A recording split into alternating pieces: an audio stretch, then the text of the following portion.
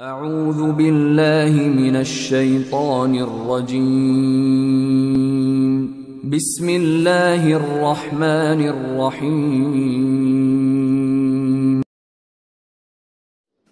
dinni ushlash cho'g'ni ushlash kabi qiyin bo'lib qoladi deganlar shunaqa zamon keladi tashlab yuborsang dinsiz qolasan bemalol ushlab turolmaysan qo'ling kuyadi ya'ni dindorliging shunaqa qiyin bo'ladi Ummatimni boshiga shunaqa zamon keladi deganlar va o'shanda musulmonlar g'arib bo'lib qoladi. Haqiqiy dinni ushlaganlar bechoraga aylanib qoladi. Shundagi bechoralikni qo'ldan bermaganlarga jannat bo'lsin deganlar. Shunday zamonda kishi dinini olib qochish uchun bir vodiylarga yo bir tog'larga chiqib ketadi. Chunki odamlar orasida dinni ushlab turish imkoni bo'lmay qoladi. To'rt tarafdan dinsizlikka da'vat bo'ladi. Dindorlar tomonidan o'sha da'vat bo'ladi.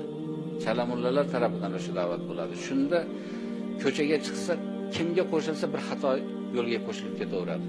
Hech kimga qo'shilmaydigan topga chiqib ketishga majbur bo'lib qoladi deganlar bunaqa hadis bor.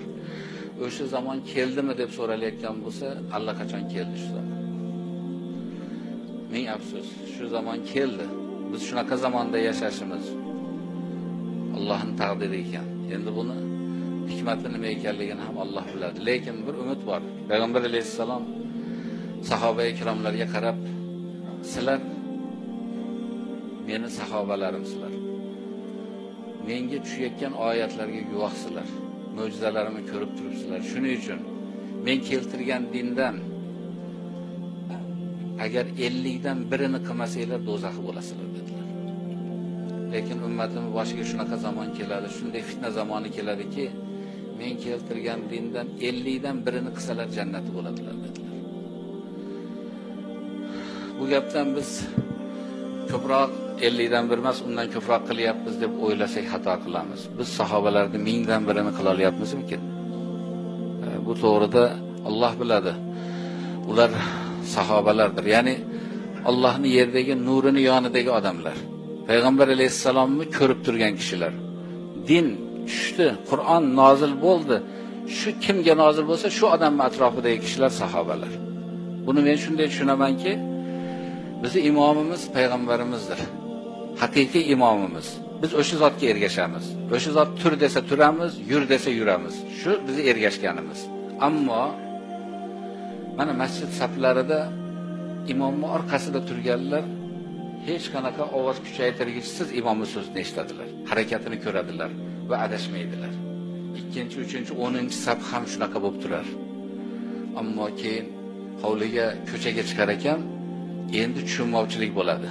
Allohu akbar desa sajda qilyaptimi ruku qilyaptimi bilmay qolish bo'ladi. Buni hammamiz ko'ramiz.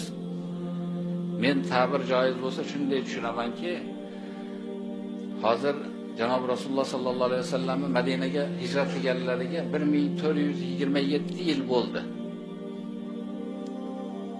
Men o'sha har bir yilni musulmonlarni bir safi deb tushunsam biz bir ming to'rt yuz yigirma yettinchi safda turibmiz. Endi rasulullohni aytgan gaplarini bizga o'rtadagi so'pilar yetkazyapti. Hushyorlari bor to'g'ri yetkazishadi. Beparvolari bor xato yetkazishib qo'yadi. Biz o'shalarni gapi bilan ruku qilamiz o'shalarni gap bilan sajda qilamiz. Ya'ni diniy amallarni qilamiz.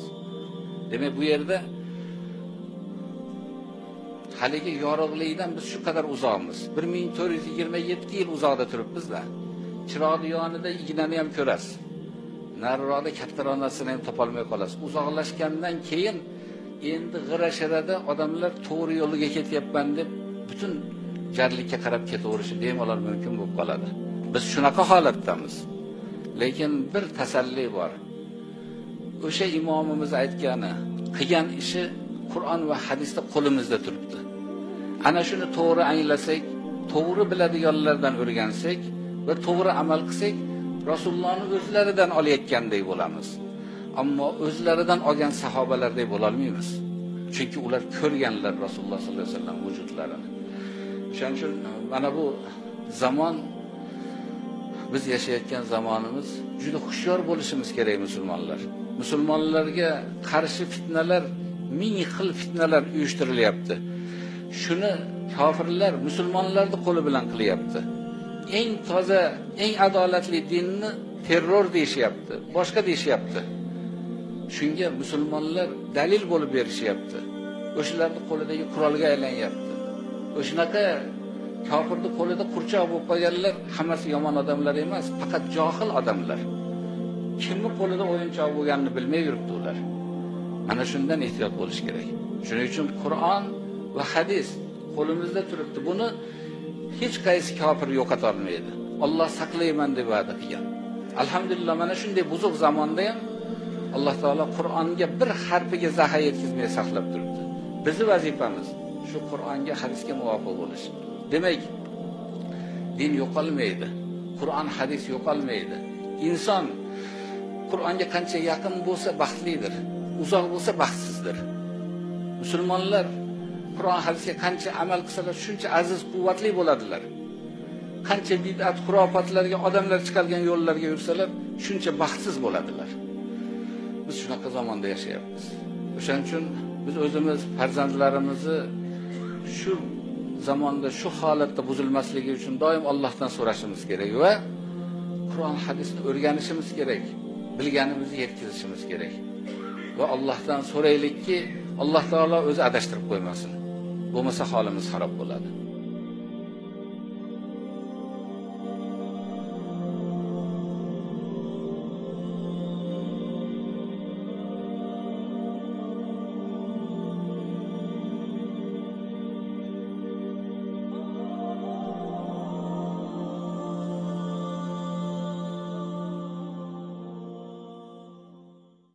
أشهد أن لا